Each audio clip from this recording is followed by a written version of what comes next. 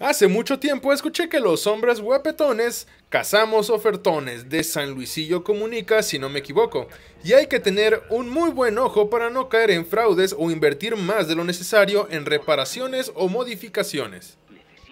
¿Qué hay amigos? Aquí ya yo, para los compas, y tal como dice el título, he comprado una laptop descompuesta a tan solo 500 pesos mexicanos o 25 dólares americanos aproximadamente.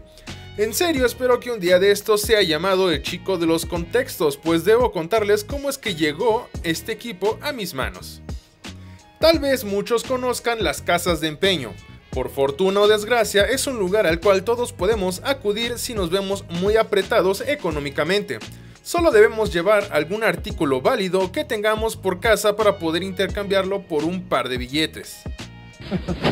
¿Y los billetes? Por supuesto, en un futuro me gustaría profundizar en este tema ya que considero que sé mucho de estos lugares. Estas franquicias tienen una pequeña normativa en la cual todos los clientes, o al menos la mayoría de técnicos, pueden ahorrarse un dinero o incluso multiplicarlo. En resumen, la venta de artículos descompuestos a un bajo costo, desde televisiones hasta teléfonos celulares con pequeños detalles, que si bien pueden ser reparados sin mucha complicación, todo depende del artículo, el fallo y el precio que estemos dispuestos a aceptar. Así que al ver esta laptop no pude aguantar y me propuse a conseguirla al menor precio posible. Bien pensado, Woody. Este equipo lo conseguí a un bajo costo, pues el único detalle descrito en la venta es no enciende. La ficha técnica mencionaba una pequeña memoria RAM de 2 GB y un disco duro de 500 GB de capacidad, lo cual, después de un par de negociaciones, logré pagar solo 500 pesos por ella, sin saber el error o si podría repararlo en dado caso. Lo llevé a casa para poder hacer una revisión superficial en el equipo, conectarlo y tratar de descubrir el problema que podría tener, encontrando de primera mano que el cargador que tenía ya estaba muy maltratado e incluso empalmado en una sección, lo que significaba que bien podría no estar llegando el voltaje necesario para que encendiera. Después de un par de compras me di cuenta que el problema principal era el cargador. Iniciamos con la primera inversión de 300 pesos, la laptop sí estaba funcionando y con lo que apenas habíamos gastado ya era suficiente ganancia. Pero aquí es cuando la vida y el destino te dice... No tan rápido, gordito sensual. Aparecen los tres grandes problemas con este equipo. El primero ya lo conocen, el detalle del cargador. El problema número 2, no estaba reteniendo carga, un problema muy común en la mayoría de portátiles, pues si se deja cargando al 100% la batería y dejando que llegue a cero cada vez que se utiliza, tarde o temprano termina con su vida útil. No puedo decir un estimado, pues todo se basa en el uso que se le haya dado.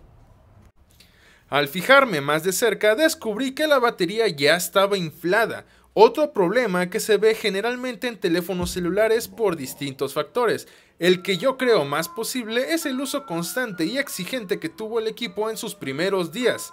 Sin embargo, yo no tengo la intención, de momento, de utilizar su portabilidad, pues a donde quiera que vaya hay conexión a luz eléctrica sin problemas, la verdad. Nuestro problema número 3. Por alguna razón el teclado numérico está fallando, ya que parece que se repiten los mismos números o cliquean otros que no le corresponden. Desconozco si este problema lo tenía desde antes de ser empeñado o se haya dañado algún flex cuando la batería se infló dentro de la carcasa, pues llegó a romper un par de tornillos mientras se expandía. Con haber logrado encender este equipo podemos llegar a describir como tal todas sus características. Esta es una laptop de la marca Acer, modelo MS2394 de la serie ES1-512, un equipo que se destaca por ser básico, ideal para estudiantes o amantes del ocio multimedia, pues no logra reaccionar ante tareas que sean en extremo exigentes. Con un procesador Celeron N2840 de 2 núcleos a 2.16 GHz y un mega de caché, llega a ser de aquella gama donde un par de ventanas de Chrome y una hoja de cálculo abierta puede hacer que te crashee todo el equipo. Viniendo desde la fábrica una memoria RAM de 2 GB DDR3L SDRAM de la marca Kingston y un disco duro de 500 GB de su respectiva marca Western Digital. Nos da un gran margen de expansión exceptuando por supuesto su procesador, pues recordemos que este viene soldado con la placa. Siguiendo con la ficha técnica encontramos una pantalla LCD de 15.6 pulgadas, resaltando que gracias al modelo tenemos como extra el teclado numérico en la parte derecha, haciendo que por supuesto la pantalla tenga que acaparar más espacio. A veces el tamaño sí importa amigos. La parte negativa es que es HD, llegando a soportar una resolución de 1366 por 768 píxeles y en estas épocas con equipos de 1080 o 4K, sin dudas nos estamos quedando muy cortos en cuestión de disfrutar videos en alta definición, ya sea del buen Netflix, YouTube o incluso alguno que otro juego. Pero si recordamos que se trata de un equipo sumamente básico y proveniente de hace ya un par de años, pues la verdad se la podemos perdonar.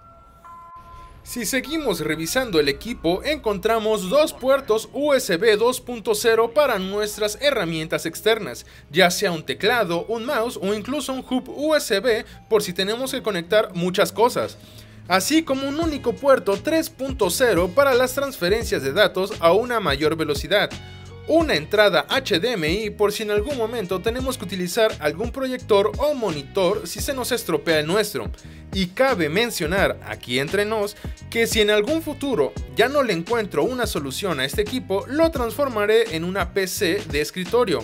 Un proyecto que siempre he tenido muchas ganas de hacer, pero si aún no está roto, pues no le provocaré ninguna caída accidental. De momento. Esta laptop contaba con un sistema operativo 8.1 de fábrica a 64 bits, cosa que me parece estupendo por cuestiones de compatibilidad de muchos programas y la estabilidad del propio sistema. Se me olvidaba que cuando contaba con su batería, esta era de 3200 mAh con una duración aproximada de 7 horas de uso constante.